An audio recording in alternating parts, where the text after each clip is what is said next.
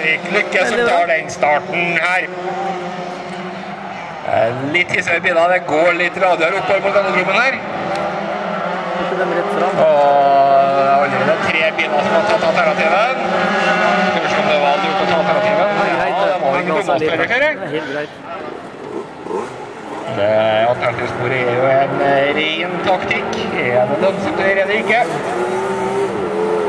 Og nå skal vi ta det? Men det er da i hvert fall eh, godeste Karl Henrik Lykke som har eh,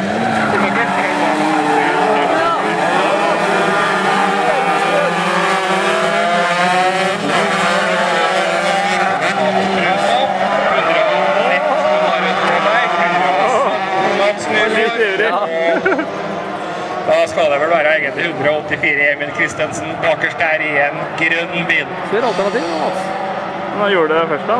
Nei. Nei, gjorde det. Nei, stemmer. Sånn, det var vel mer mye crossstart.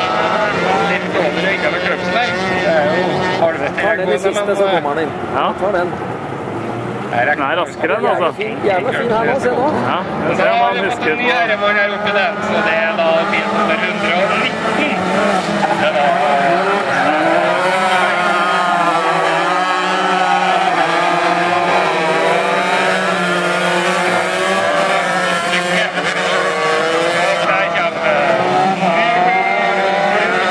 Ja, mye bedre. Ja. Og en inngang, vet du. Sånn også i alternativet nå, Mats. Kom igjen. Klem rett ut. Sånn, ja. Tar han en, sjanse? Kom igjen, da, gitt.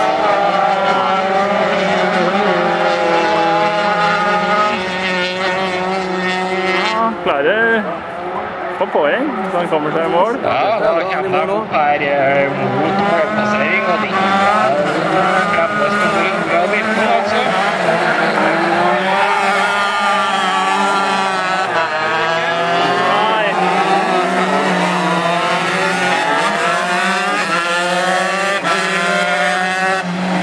Runden kom mål. Og sist er da Brustad.